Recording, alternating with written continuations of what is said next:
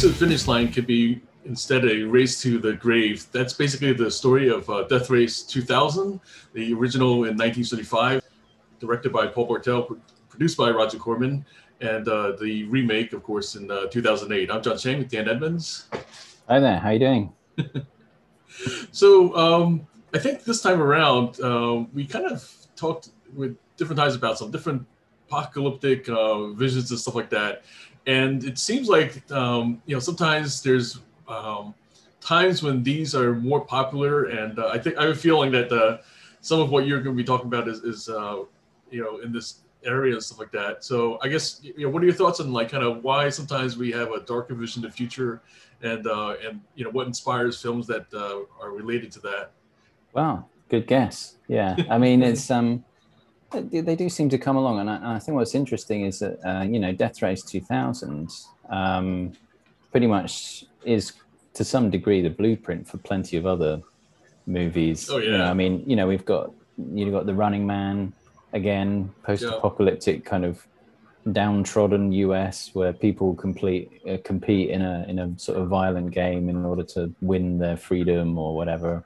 Right. And and I mean, you know, the, uh, the Hunger Games. Yeah, yeah. I mean, yeah, I mean, apparently this is almost like a, a front run uh, movie on Rollerball in that mm. I think this came out before because he was anticipating Rollerball and tried to do his own kind of cheap and quick, dirty version of it, which actually is, you know, it's quite, it, it's, you can look at it that way, but there's also some other, you know, when you dig into it a little more, there's some really interesting stuff going on in Death Race 2000. But yeah, Rollerball is clearly the the closest um, comparison and and a good movie as well.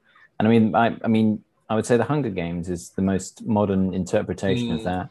You know, yeah. a society that's kind of on the brink of collapse with massive inequality and people competing yeah. in a violent game. Um, it obviously takes itself much more seriously but mm. um, you know, it's not the, not a new idea by any stretch of the imagination. Why it becomes popular at various points of time is more interesting um, because I don't, in a way, I don't think, and I'll get onto it later on, but I don't think the sequel is about the same things that the original is about thematically. Mm. Yeah. Um, but the, I mean, the original for me seems to be almost like a satire of the media and its glorification of violence. Basically, that's one of the major themes in it. Um, why it happened in the mid 70s, I mean, you had a lot of crime upticks at, at that, that point in time. I think actually, I, I think crime and fear of criminal activity actually has a much bigger impact on what we will go and see at the cinema than perhaps people would appreciate because I think when I look at yeah, and, and I'll, I'll get into that I guess with the remake with the timing because the Hunger Games is similar, but um, yeah. So anyway, the um, in terms of like uh, well, how what, what's good about the uh, the satire of the media in Death Race 2000 is that you ha- you have these very kind of cartoonish uh, drivers Mm. And at first thoughts, you just think, oh, these are very sort of random, stupid kind of ideas for drivers. Right. But actually, what they are is movie genres when you look mm. at each one. Because you have Frankenstein, he represents like gratuitous violence through horror movies. Mm. You have Joe Viterbo, who's gangster right, movies. Right. You have the the Gladiator in the mm. Lion. Come on, what the, the the the teams name is, and then you've kind of got the Calamity Jane in the Bull Western. car Western. So you know, right from the offset, you know, he's clearly sort of making a satire of of, of Hollywood. Um, so it's and I mean even that you know I would say Frankenstein's mask is a little bit like the robot from Metropolis. Mm. It looks kind of similar to that. So uh, yeah, it, it doesn't. This is not a movie that takes itself too seriously, and right. those those characters are pretty when you realize that's what they are, they're pretty obvious, really, and, and very over the top.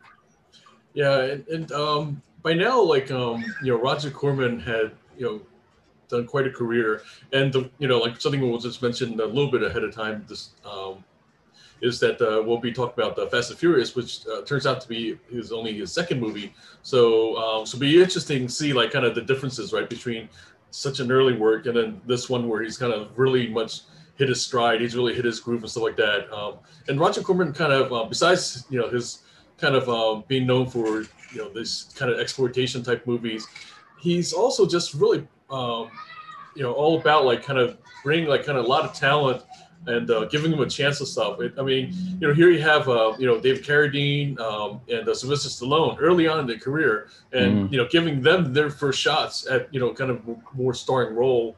Um, you know, much sooner than you know they've gotten with other you know kind of directors and stuff. You know, of course, coming up. Yeah, and let's not forget Martin Kove from Karate Kids in there as well. Mm. Oh, right, the, right, right. Uh, yeah, that was a surprise. Yeah, yeah I had, was, had no idea. um, yeah, I, I, think most of the female leads in this are they tend to be kind of like staples of some of Roger Corman's movies, but perhaps yes. not the wider sort of like no. um, movie industry. But um, but but very you know very talented, and they really put in interesting performances all the way through. It's uh, it's um, it's good stuff. But um, yeah, I mean, it's uh, it's an interesting idea. This whole idea that you know you're you're trying to placate a, a, society by having really really gratuitous you know deaths. I think the interesting thing for me in this one that that isn't um, often in in these kind of post-apocalyptic movies is this idea of actually scoring points. Oh yes. Uh, for, for, for the the more sort of weak and uh, the, the the people in society are. It's like a you know a real kind of depopulated population kind of uh, yeah strategy you would say of their future society. It definitely like echoes uh, you know Corman's uh, kind of somewhat dark, somewhat twisted sense of humor. Um, oh, know, yeah. things like you know euthanasia day at the hospital. That's right. Yeah, yeah. But they just wheel them out, and I, and I think that's um, you know, just their just the old people's expression speaks to a kind of because um, they're just all there happily sitting there waiting to get mown down by Frankenstein and various people, and um, you know that sort of placidity is is probably what he's looking at. Is saying you know this could happen if everyone just like gets too distracted by all this you know all the sideshow, so to speak. Yeah, I think you know, kind of going back a little bit to um, you know the idea of the apocalypse and stuff like that. Uh, around the mid '70s, there was also this you know pessimism about you know things running out, like oil, like that, that was yeah. a huge thing. And so this was really like um, the idea that in the future, you know, only like you know for these kind of extravagant kind of events and stuff like that, uh, would we kind of you know expend that much oil? Because you know, like driving across the country, that's a lot of gas, of course, and everything.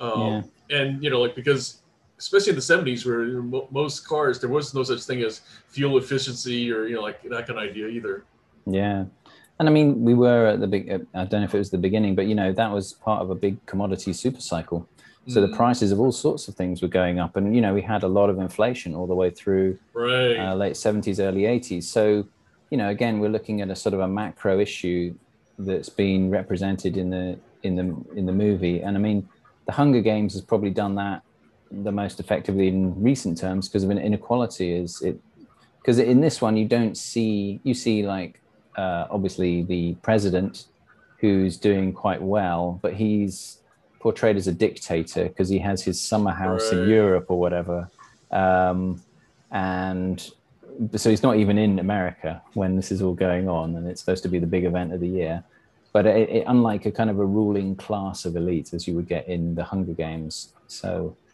yeah, and I mean it's a very kind of it's it's kind of um, again it's kind of slightly anti-communist, I would say, in its general kind of theme because United the, the the stars and stripes is now just kind of like the stripes and they're red and there's just mm. a big sort of totalitarian fist instead of any stars. So it's um and it's what the United Provinces of America rather than the United mm. States. I, I, always think of provinces as something that you would use if you were describing areas of China. That's so that mm. kind of yeah. Did you notice that in the in the audience, uh, in the stands and stuff like that, you had like you know Nazi symbols and like yeah, you know, yeah. just other. I thought that was interesting. That like kind of you know, um, I mean, I hate to say it, but almost like foreshadowing of like you know um, these past you know these, oh, these yeah. recent years, you know, like the Trump era and stuff. Totally. I mean, in a way, it, it did the the and it is actually quite prescient this movie in that there is this cartoonish surreality to the drivers and the people in the Mm. audience and their lack of kind of knowledge or bearing of what these different characters represent or what does the Mm. swastika even represent obviously people in the crowd don't care anymore by the year 2000 so this detachment from real kind of history and learning or what actually happened uh, and creating some you know uh, engineered reality we'll say seems to be the theme all in the name of entertainment. I mean, that's really what it Yeah, comes yeah. down to for both, Yeah. you know, the original and the remake. yeah yeah absolutely i mean i also thought um yeah so it's kind of like you know get distracted and this is what will happen you know um and i mean also it i think this was quite sort of predictive of reality tv Mm. in the you know it's it's the real reality tv really and, and you know the, the sequel kind of picks up on that more but again you sort of predicted that. But by the same token you know reality tv is not that new. If you Hmm. if, if you think about it the 70s actually kind of saw the early prototype reality tv because you had chuck barris with things like the gong show Hmm. uh, the dating game. You know he was a real innovator. He basically Mm. started reality tv but in quiz show form Right. so maybe you know roger corman was looking at this and thought oh yeah that's the future and kind of just made a more extreme version of it And now that you s- mention it, um, I'm thinking of like this uh, competition they used to have called the Battle of the Network Stars. Um, and I, I'm not sure how popular it is, like kind of, you know, around the globe and stuff like that. Yeah, so it was around um, between 76 and 88 that they would like have these annual kind of things with like the the networks would have their stars, you know, kind of competing against the different, you know, so you have like you know the stations basically competing through their stars. So so uh, not, not only the ratings right which is another form of competition or anything like that now you have a physical embodiment of that. So like kind of you know i mean talk about like kind of you know uh, prescient uh, i mean like it, the, you know here the here these stars are actually in competition. I mean granted it wasn't as violent you know like the most the most violence was like you know falling into like um, a spinning barrel of you know like like like like a, a pool of uh, with, with you know from the spinning barrel stuff. That's Oh, yeah. about as violent as it gets. Or or like the um the throwing the softball, so the dunking the uh the star and stuff like that. Yeah, I mean, we used to have sort of like, but they would they would often reserve for like sort of Easter or Christmas. But you used to have Mm. like a quiz show Okay. called Blank Blankety Blank in the UK, and you'd have Celebrity Blankety Blank, Right, and you'd have it, It's a Knockout, which was again a kind of like a silly kind of obstacle course thing, and you'd have Yeah. Celebrity It's a Knockout and all that kind of stuff. So, you know, these things aren't really new, and in a funny in a funny sort of way. The reality TV where we were just watching people was probably the biggest departure from what had gone before. Now they're actually all returned to that, and they're all kind of like Mm. this has to be a competitive element to make them interesting. But um, yeah, no, it was, it was he definitely called it. it, it's funny how um, for the reality TV, like the, the ones that all kind of, I mean, you know, you have some of the ones that's like um, a little bit more the heartwarming kind of things of like you know like uh, undercover boss and everything, but a lot of them are around competitions though. So it's like almost like this kind of I don't know this thing that we have where like you know we can't have reality without competition or something. You know, like Yeah. like like you know for me personally, um, you know, like Tango is actually one of those things that like I I, I never really understood how they have a competition about it because it's really supposed to be about dancing and like connecting with your partner and stuff like that. It's supposed to be about just just the pure enjoyment and the art of it and everything. But then you know, like here you have competition, you uh, know, which kind of emulates more of the Dancing with the Stars kind of thing and stuff. Yeah, yeah, it's always interesting how you. I mean, it's how do you, how do you really judge Dancing with the Stars? It's You just know? like you know, and I think that's what they realized with that show is that you know. It's more important to who people like and who's going to carry on watching the show as to who's actually like doing a good job. And it's more like the story of how they went from being terrible to actually like a half decent dancer and all that kind of stuff that's repeated, you know, ad nauseum uh, year after year. But um, yeah, speaking of um, repeating things and bringing them back from the dead, I thought Frankenstein was a really interesting name Hmm, for our right. protagonist. Frank, Frankenstein is not normally the hero of any movies. no. So that's quite an interesting choice. But of course, you know, originally this is a, a monster that was created from the from dead bodies right. um, and that eventually turns on its creator, which is exactly what happens. Again, Major spoiler alert. Sorry, yeah. um, you know, difference. The difference being in that one of the things about the original Frankenstein that's interesting is that he is supposed to be. It's supposed to be kind of like an anti-science, um, I would say, story in that you know, by man being in his hubris creating something that it's it's terrible for society, and society will mm. turn on it and destroy your creation. In this mm. one, you actually have the opposite in that you have mm. society loving the creation and actually supporting mm. its overthrow of of society in a way. Right. So, but that was you know, but it was an interesting one. I just thought what the other thing I thought was really funny is that you know he's introduced as coming out of suspended animation. He's got mechan- mechanical prosthesis in theory, at least anyway. There's right. supplement supplemental protein capsules and all this kind of stuff right. from the future, but yet they're still using shift gears. Right, you know, right, right. automatic gears haven't been invented, but suspended no. animation has. So, and, speaking of sus- suspended animation, I've been something I've been wanting to say is that we've had a few of these movies now where they mentioned suspended animation quite a few times, and yeah. it seemed like something that like back in the '70s that was like something that like um you know everybody thought was like right around the corner. And yeah. of course, you know, like like the flying cars, it really wasn't. But then now it seems like new interest kind of has revived, you know, like kind of with the uh, the tech billionaires wanting to kind of you know yeah. buy into that. I, I have to I have to say I think what's actually happening right now, and you're seeing this actually in the stock market, which I think is quite funny, is that various um, SPACs and these very speculative kind of semi quasi companies that have you know get, got loads and loads of funding it's turning out that yeah it's a little more difficult to do some of these like groundbreaking disruptive ones like there's a, a, a company called PureCycle that, um, that was supposedly going to invent some new form of recyclable plastic that could be easily mm. reused. But it, you know after a bit you know as a research company found out the directors had done like a you know they they bankrupted a few other companies and then of course the price just tanked because everyone realized ah, this is probably fake. But you know there's um i'm sure we're going to see a hell of a lot more of that over the the next six months to a year a lot of hmm. these promises you know i mean elon musk loves to say we'll be we'll be flying to the moon on a monthly basis and uh, we'll be digging tunnels under california we will see. I mean, it, it's a it's a fun story, but uh, something tells me that reality will, will will intervene at some point, and it will not be quite so glamorous. As we well, talked about in Brave New World, the extremes will get sort of marginalized mm. into something that's a more of a common truth. Right. So. Yeah, and I think the funny thing goes back to is this idea that you know, like, um, I mean, a lot of these things are possible, but it's just you know how willing are we to pay the price? You know, I mean that that's what exactly, it comes down yeah. to. Yeah, and or yeah, because there's plenty of really amazing inventions like Hololens and stuff, but they cost a fortune. So it's you can do it if you pay enough. So yeah, yeah. Speaking of which, his Frankenstein's kind of um, his attitude to life is kind of interesting in that.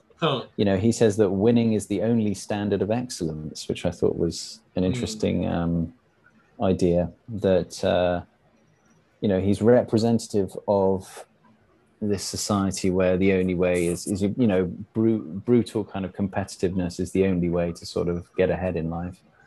Um, and yeah. then ultimately, like you know, he you know by overturning things, you know, like it, I think it's even more interesting that he becomes the leader, right? So yeah. you know, so so he did win, you know, like kind of big in the end and stuff.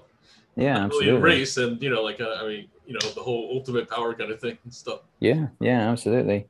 Um, yeah, I mean, I also think it's really interesting that, and they didn't spell it out for you, you know, that this idea that he's you know been injured all these times and mm. but then you come to realize basically he's just a kind of a puppet of the uh, government mm. essentially and he's probably been replaced several times right, right, and it's it's really this idea of you know having a, a, a hero an immortal hero that the common mm. man can rally around to uh, you know let, let the the powers that be get away with what they want to do right that doesn't sound like the Vatican or anything, does it now?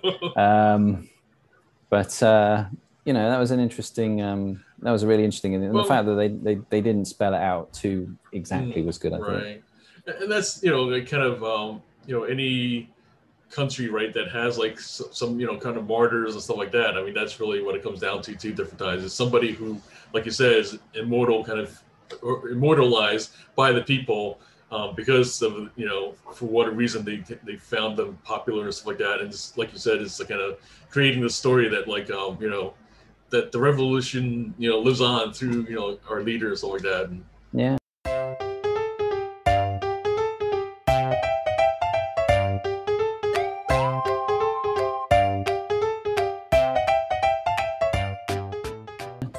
And it's almost, I mean, it's almost identical to Rollerball story as well, really. Mm. But um, yeah, yeah, I mean, there's less. I think what's interesting in this, the differences, I suppose, would be that this is more political in that it's political totalitarianism, whereas in Rollerball it's corporate kind of right. overreach. So At least, Um, at least with the original, we'll get into the remake kind of you know, Yeah, yeah, commentary yeah, about yeah. that.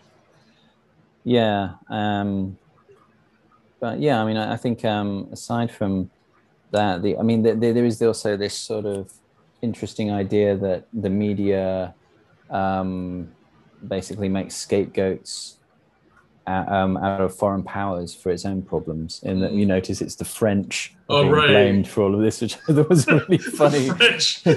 Like, ah, those damn French again, you know. Um, I'm surprised that, That they was- didn't blame it on the Canadians. That would have been even funnier. yeah, so that was that was kind of funny. The, the French are bombing cars in the middle of the states. Um, yeah, it's. I mean, um, yeah, it was. Uh, it was a fun watch, though. I thought, and you know, obviously, there's the other, you know, there's the, quite a bit of gratuitous nude, nudity, quite a bit That of was you know, surprising.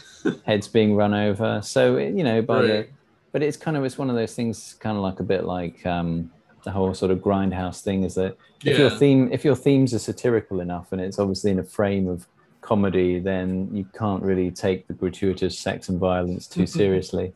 I mean, there's a great scene of Sylvester Stallone with with I think it was like clam sauce all over his face. At one point, it's just like just like really, you know, messily eating clams, which was quite fun.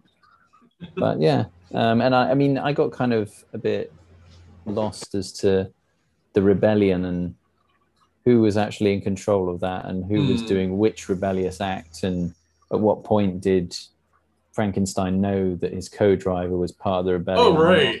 What was the real motivation to keep her Yeah. around? It was uh, and, and it's it's kind of funny how like that was all kind of this kind of um, uh, side plot, I guess. Um, you know, along with the race and everything, and then meanwhile, like you said, yeah, it was like kind of you know, um, w- w- one was like kind of Frankenstein uh, part of that or not, and like kind of, and then um, you know his navigator, you know, kind of uh, the the Annie character, like you know, I guess she was the daughter of the um, yeah. the matriarch, and yeah. Yeah, I did find the whole idea It was quite funny of a hand grenade that was literally a grenade in a hand. And, you know, that was his plan that by Right. when, the moment of shaking hands, he's going to blow himself up. But uh, right.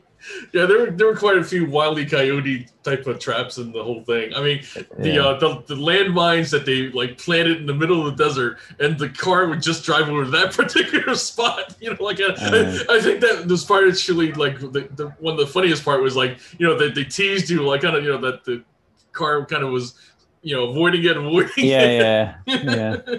So close. Yeah, the other bit I didn't really get at all. And I don't Mhm. know if the, the whole chicken in a basket scene. Huh. where there's the three random dudes just standing in the road Right. and and they're standing there waiting for the car and then all of a sudden two of them jump down a manhole but then Right. they close so so oh i see so they're playing right now i get it i get it so it's somehow a game of like last man in the manhole Hmm. but surely everyone would just go for the manhole as soon as you saw the car so you get killed it's a very odd scene but i mean it's a good excuse to have someone's head being crushed by a car so, Right. um, yeah so there's lots of strangeness and uh, interesting things like that. I think it just you know like definitely um, you know Roger Corman's humor. I think that's really what we're seeing. yeah yeah absolutely so yeah any more thoughts on the original Um, probably one, you know, only other thing that I, you know, would mention is like, uh, you know, you, kind of mentioned the, you know about kind of the Vatican and stuff like that. It's interesting how they kind of had um, a glimpse of like televangelists, you know, like with this religious leader. Yeah, um, yeah. You know, and and it's something that like um hadn't really caught on yet in, around the 70s and stuff like that. So it's Mm. interesting that that was kind of even you know another almost like prediction, right, of you know what was to come. yeah, it, it's yeah. That was interesting, wasn't it? It's kind of like religiously ordained violence as part of society Mm. was, uh, yeah, very kind of Roman era. Because you always think of like the the Roman emperor was kind of like the incarnate god who was sort of Mm. saying, "Now, please go and kill yourselves," um, sort of thing. So Well, yeah, religion like kind of um, mixed with like kind of a entertainment kind of aspect and stuff.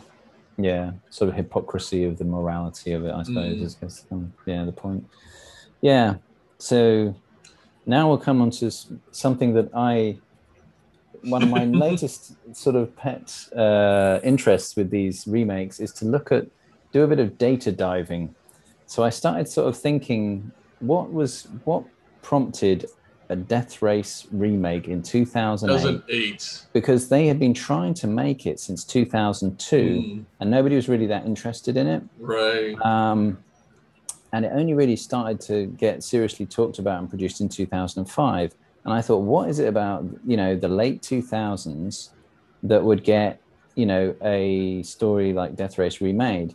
And then you look at the themes in it, and basically it is this, it's a theme of injustice in that you have this blue collar worker who's been kind of wrongly accused, wrongly imprisoned. And actually, 2008 was pretty much the peak incarceration rate in the US at that Mm. point in time. Pretty much um, the figures have been tracking up slowly from from the nine, you know, from the early 90s, and um, there was a sort of a dip around the late 90s, but pretty much kept on going all the way through the 2000s. And I actually went through the process of counting up all the movies that have been made about prisons from 1930 through to like recent Huh. times. And for instance, you know, between the 50s, the 60s, there was like under 10 movies about prisons made in those Okay. decades. In the 70s, there were 17. So it obviously started ticking Wow. up. In the 80s, only 24. So not a huge increase. Then the 90s, especially the early 90s, and I'm Mm. guessing things like the LA riots, probably gang violence, all this kind of stuff. Um, that ticked up to that 35 movies during the 90s about prisons. I guess we had Hmm. like the Shawshank Redemption, various other things Yeah. all- that were more sort of high profile ones. Right. Now, the 2000s, you Oh. had 55 movies Wow. made about prisons in the 2000s and four seasons of Prison Break, one of the you know Mhm. most Yes. popular TV shows at the time. With with- the same idea of a wrongful, you know, imprisonment Exactly. and stuff. Yeah. Yeah. Interesting. so I, I think that, you know incarceration was a big deal during the Yeah. 2000s and obviously a fear that everyone um, was thinking about and it extended across all sorts of um, different genres as well because you had like comedies about being in prison you had Right. musicals oh brother where art thou and Right. you know there was a, just a whole slew of stuff um, so yeah i thought that was an interesting one so definitely you know people at studios look at these kind of things and say Mhm. okay yeah we saw that uh, in 2007 there was seven prison movies and they all did pretty well so let's green light Mhm. death race you know so no surprise this one is set predominantly in a prison for the first half an hour of the movie Yeah, and and embedded is a key uh, part of the story is this idea that you know corporations are running the prisons, and then you know like the motivation different times is you know the more you fill them up, the more profit and stuff. Yeah, and I- and I think it was. I mean, credit to uh, writers and Paul Anderson, you know, uh, tacking onto this idea of the injustice of corporations running a, a, a penal system and rigging it so that people Mm. stay there longer was pretty pretty interesting. I think the other the other theme again is really reality TV. You know, this was definitely the 2000s were definitely the decade Yeah. when reality Yes. TV came to the fore. Yeah, I mean, it started with Big Brother and all this kind of stuff in the early 2000s, and before you know it, we've got people cooking and dancing and everything else. So, right. and and it's just again, it's it's, it's similar to Death, the original Death Race, really. Just an extension of taking that to its most gory outcome, really. And you know, unlike most remakes where the um, you know original creators have very little to do uh, with you know like kind of the production stuff. Apparently, you know, Roger Corman was you know somewhat involved with this one and stuff. So yeah, yeah, yeah. I noticed that that he was he was you know part of it. Um, far less political this one in the and and nowhere near a satire. Like none of the char- no. the characters are just more like demographics in rather than actual satire of different types of violent movie. Um, like likewise, you know, there's no kind of no talk about the president of the world in his summer house or anything, you know, too loopy like that. So there's a, I mean, I think there's a lot of action in it. I mean, I would say the last sort of 40 minutes is almost like one long action sequence, yeah. more or less. But um, yeah, none of the kind of satire and comedy, and certainly none of the, the sort of gratuitous sex and violence of the original, which makes it a far right. less worthy movie in my book. But I mean, I think by now we're really into the kind of the Dark Knight era, like kind of you yeah, know, like yeah, like yeah. you know where um, you know here uh, you know Jason Stratham is even playing an anti-hero and stuff. Um, and you know, like granted, you know, like the original had an anti-hero, but I think like it, just the the way, like kind of like you said, it's, it's less satirical, it's less you know, kind of um, a cartoonish kind of um, vision. It's a much darker view of the future. Um, you know, like kind of, I mean, you know, the, the, certainly the action of violence in this one is, you know, like pretty much like, um, you know, it, it's it's you know whether you call it state of the art, whatever. It's like really mm. about like kind of you know this kind of grittiness, this realism. Yeah, it's lots of pyrotechnics and you know things exploding, more detail and money being spent on it. Whereas in the original, the future was portrayed as a racetrack with some matte painting of a futuristic city right. in the background. Was about as far as you got. This one, you know, I mean, not that it's particularly. I mean, it's set in 2012 because everybody thought you know the Mayan calendar was going to cause right. the end of the world in 2012 back in 2008. But um, yeah, it's uh, aside from that, it doesn't really you know, foretell anything too major in terms of futurism. I mean, the one thing that annoyed me was that really the hmm. the first kind of 25 minutes was pretty tiresome in that like most movies of the late 90s and early 2000s mm. you can't have a protagonist where you're wondering what their backstory is right. they have to kind of do it all through exposition and showing them at their home and their loving family and then this and oh yeah you remember oh, you were supporting the unions, and then the police came along, and oh, what an, you know, it's just like, oh god, just get to the race already, you know. let's, let's, see some, let's see Joe Viterbo gunning some people down in the audience. You know? So yeah, I mean, it does all that, but once it gets past that, you know, it becomes a hmm. fairly sort of, sort of standard thing. And you've got Ian right. McShane as, as this weird kind of, you know, coach, coach figure. It's like why? It's it's and it's one of those sort of things. I think it's almost like Karate Kid or something started this whole thing that you need some sort of older mentor around to teach people how to kill people in a car or you know it's like he's such he's a pretty redundant character really um i, I think also, also, like you know he he kind of moves the exposition along right between him and the, yeah, the, exactly. the, character called Lists you know, like kind of, you know, like rattling off like, oh, this and that character, and that this and that character, giving you like, you know, kind of the like like the only other thing you, I can imagine them doing was like propping up like you know like kind of like a slide right like um just like the, the way they have the, the drivers profiles before the races and stuff.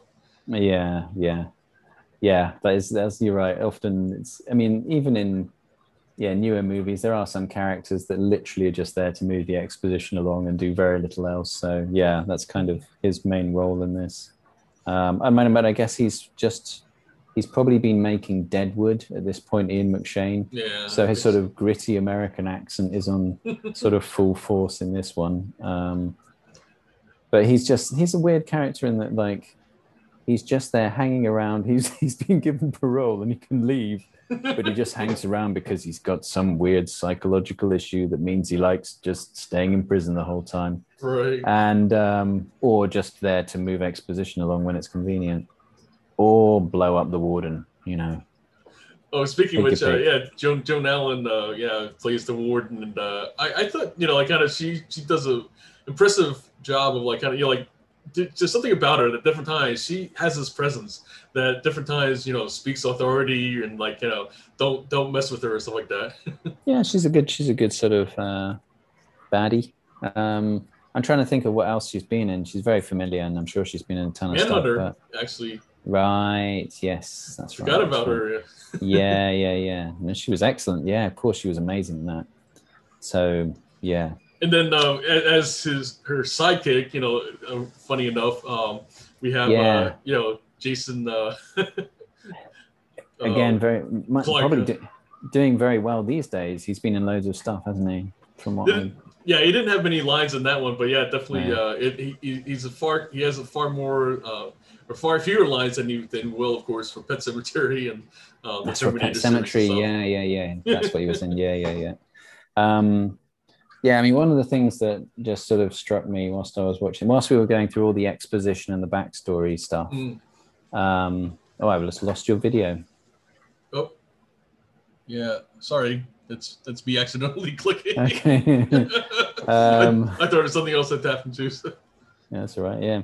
So we're going through all this exposition, you know, and is, you know, he's a poor steel mill worker standing up for his fellow workers, struggling to make a living.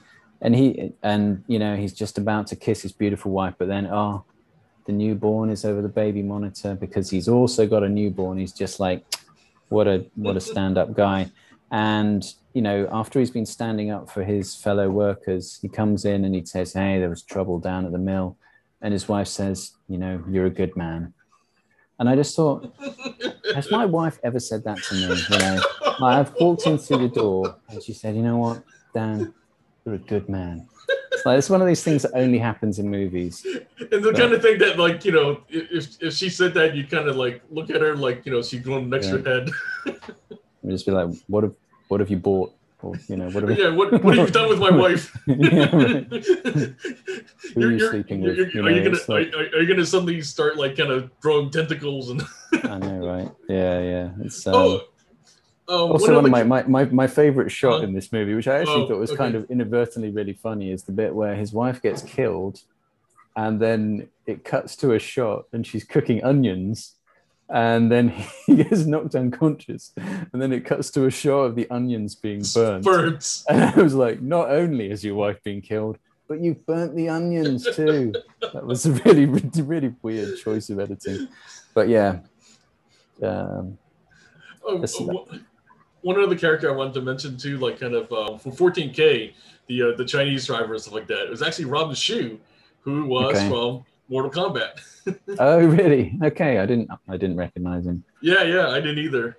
Okay, okay. So so another funny connection to. Uh, I know, right? and, and funny. apparently, apparently, he goes on to somehow be revived the uh, the the sequels too. So, go figure. Okay, okay, interesting.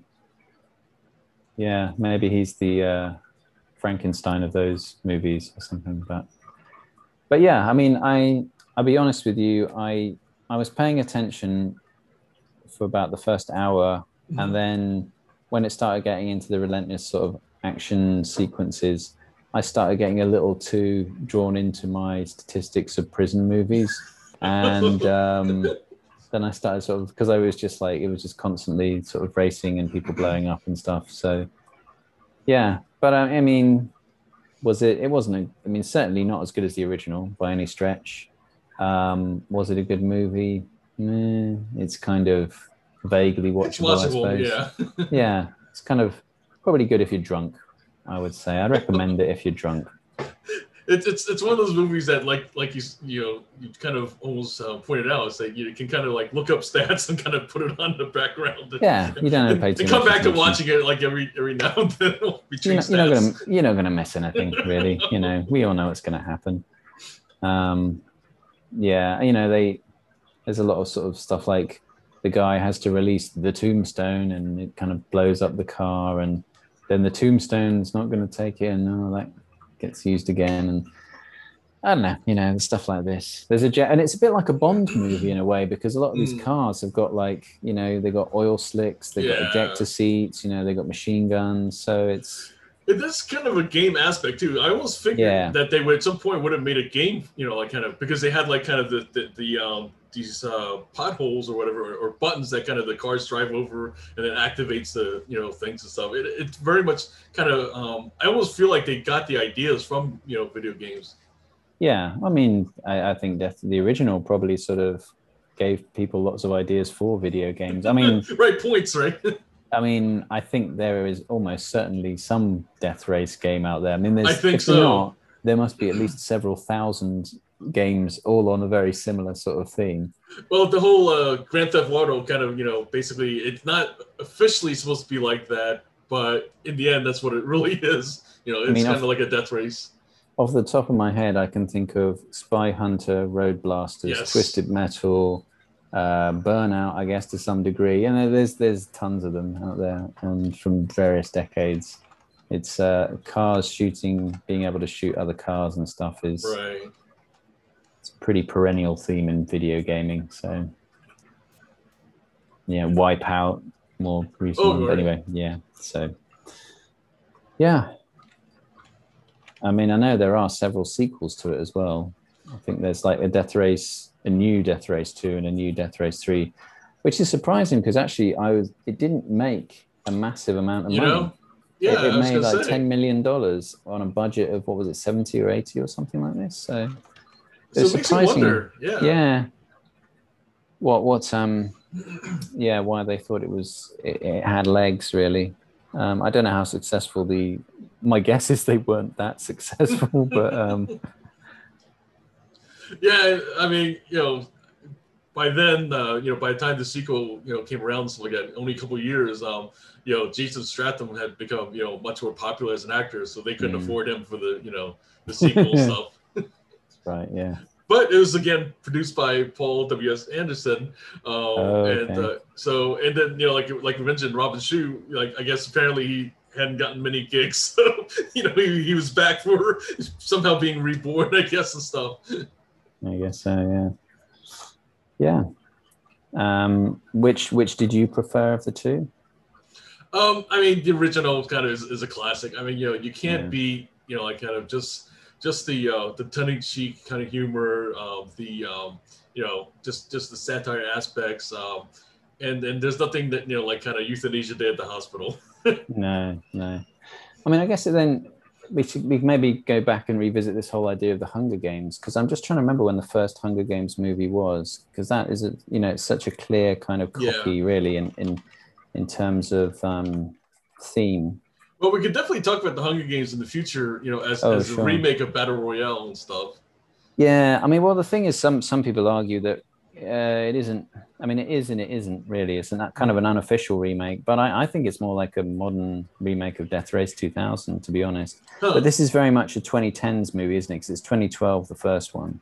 Hmm. So it's. I mean, I think by the time we got to the 2010s, people were really embracing conspiracy theories en masse and felt like you know Hmm. everything was going to get horribly inequality and we were all going to be made sort of wage slaves and things like well, well we you know literal slaves so maybe that's really where the, the strength or the or the appeal from hunger games comes from i guess. And, and also um, beyond like kind of you know just you know you were talking about the trend in prison movies and stuff i think this was the rise of the teen apocalyptic um, you know films. There was like kind of this wave Mm. and you know kind of it's kind of died off but i think you know you had that you had the divergent series um, yeah you know just just like all these kind of came around that time. And and i feel like that's an echo of how um, you know after the you know the real estate crash and stuff like that people were pretty much pessimistic for you know like the future that- in general what the think. future in general and what what the future we're leaving right for the next generation you know specifically Absolutely. you know kind of Yeah, yeah. younger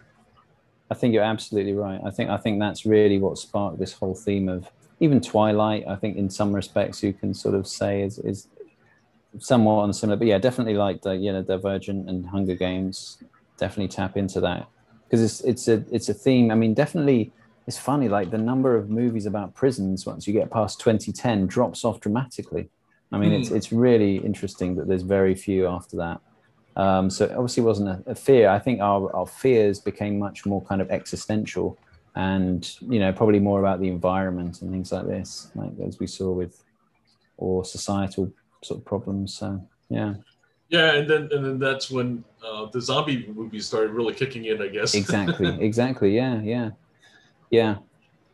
Yeah. I guess we will, we'll have to sort of dig into that when we find a 2010 uh, remake and look at, dig into that data a little more about the 2010s perhaps, but Any any other last thoughts about like kind of um, you know the, the, the, the remake of 2000 or or actually um, just the Death Race um, series in general and stuff? No, I mean, I guess for me, it's, it's been a long time since I've watched the original, and yeah, looking looking here. at it now through some sort of fresh eyes, I realized just how clever it was, really. um, so yeah, it was it was you know nice nice to watch again, but nothing. I, um, I think all my insights have been exhausted at this point. So yeah, I think um, you know, looking forward to kind of talking more. Um, you know, like looking at the Fast and Furious as another uh, you know Roger Corman kind of you know property, and, and, I think that's an interesting aspect as well. Is that like you know here we are mining kind of you know like um, we've talked quite a bit about Stephen King and how like you know his stuff is like kind of you know made remade and stuff like that. Yeah. But uh, it's funny how Roger Corman's been kind of like this uh, nucleus for you know not only like kind of things that have been remade, but also like different um, actors and also different um, you know like folks like. Uh, James Cameron, you know, Titanic, mm. you know, were, were these, um, you know, filmmakers and, you know, like uh, Martin Scorsese is another one that got their, you know, first breaks from, you know, this, uh, you know, prolific uh, filmmaker and stuff. Mm, yeah. No, I didn't even realize that Fast and Furious was a remake, to be honest with you. So uh, yeah, I'm going to be interested to do that next week. Cool. So yeah, um, once again, I'm John Chang, with the Dan Edmonds, and uh, we'll see you next time.